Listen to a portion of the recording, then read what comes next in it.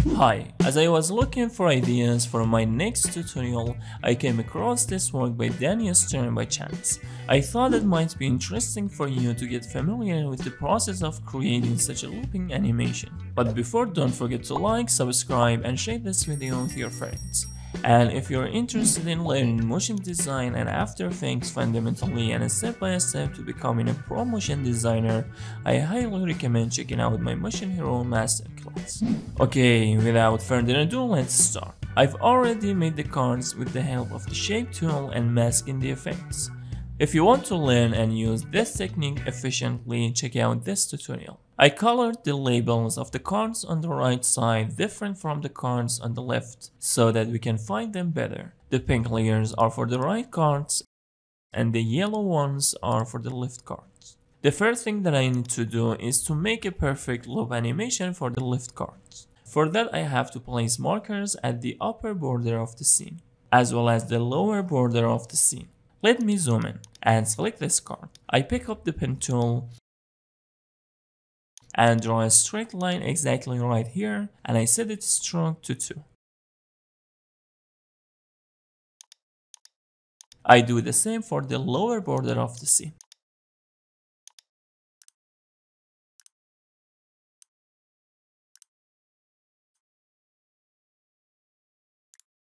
I don't need the right cards for the time being. So I select one of the right cards, then right click on its label and select label group and hide them and then shy them.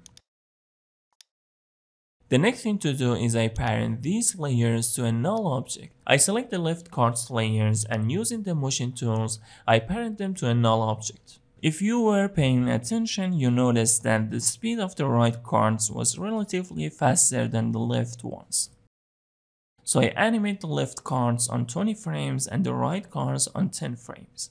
I open the position of the null and create a keyframe for it. 20 frames ahead and I move these up so the lower marker aligns exactly with the upper border of the scene.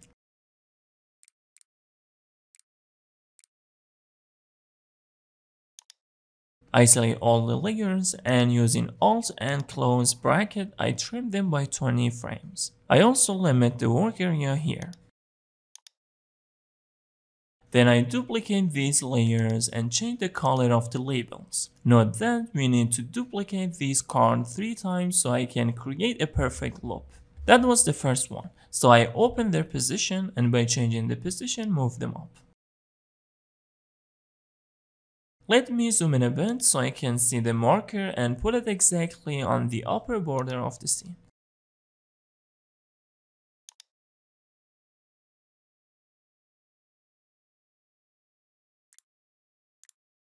I move them slowly by holding Ctrl and dragging the position value.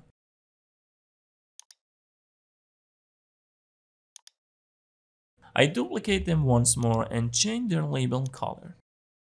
For these, I move them down and align the marker with the lower border of the scene.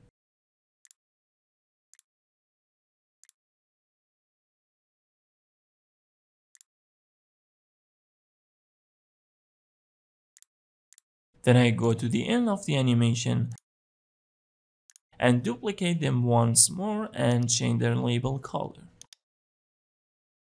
And I move them down again.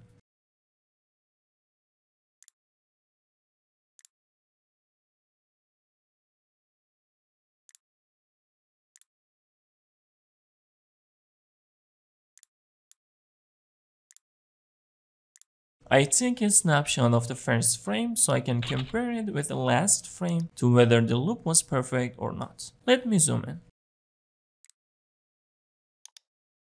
As you can see, nothing changes. And this means that our loop animation is perfectly made. Well, let's check it again when it's playing.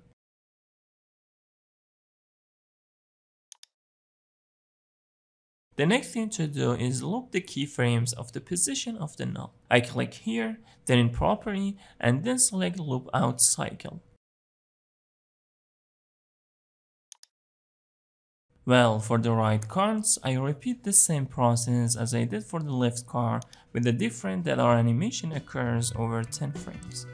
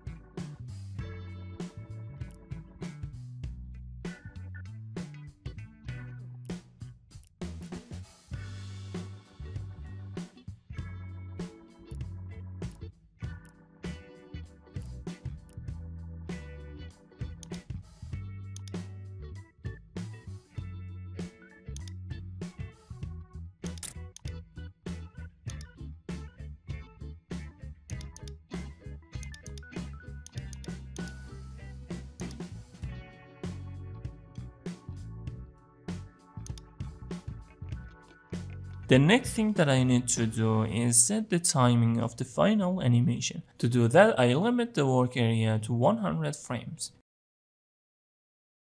To see the frame counter, I come here, hold Ctrl and click on it. I go to frame 100 and press N, so the work area would be exactly 100 frames.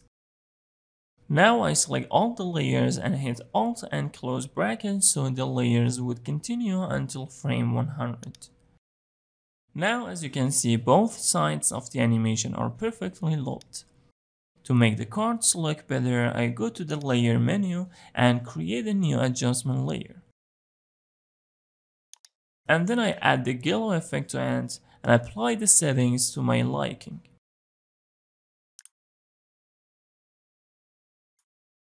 To make them even better, I select all the layers except for the null objects and the adjustment layer, then I change their mode to soft light.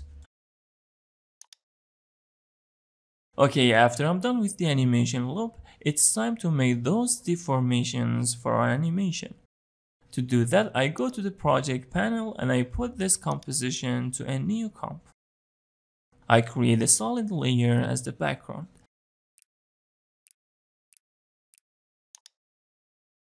Then I set the mode of the comp to screen. Now as you can see it got better.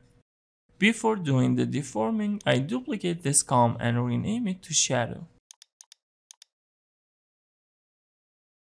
I set its mode to normal and I increase its scale. Then I have to flip it horizontally. and I decrease its opacity. I think 15 is okay. Or even less, maybe 10. I limit the work area to 100 frames just like I did for the cards comp. Okay, to make the deformation I use the warp effect. But before that I hide the shadow layer so I can work on this comp easily. I add the warp effect to it. I change the warp style to bulge and I change the warp axis to vertical. And I decrease the bend slightly. I think 25 is good. I create a keyframe for bend and hit U. I go 9 frames forward and I copy and paste this keyframe here so it wouldn't deform between these two keyframes. Again, I go 8 frames forward and I make it slim. I think minus 25 should do. I go forward by 21 frames and I copy and paste this keyframe. 32 frames ahead and I increase the width a little bit. Then after 16 frames, I copy and paste the previous keyframe. And lastly, I go to frame 100 and duplicate the initial keyframe here. Now I have to create a funnel-like shape for it. To do that, I create a keyframe for the vertical distortion. Then I hit U so I can see all the keyframes.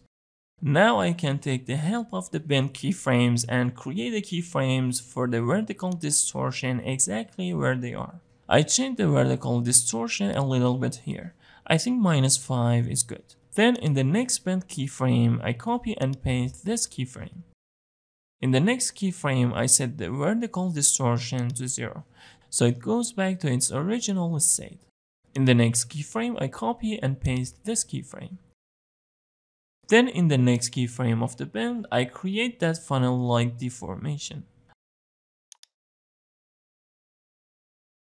I think this much is enough. Now I go to the next keyframe of the bend and duplicate this keyframe here, so in this interval it stays the same. And for the last frame I copy and paste the initial keyframe. Let's check it out. It's amazing. I select all the keyframes and make them easy. In order to create the same deformations for the shadow layer, I make it visible. I select the warp effect, go to the edit menu, click on the copy with property links, then I select the shadow layer and hit Ctrl V. Now let's see how it looks.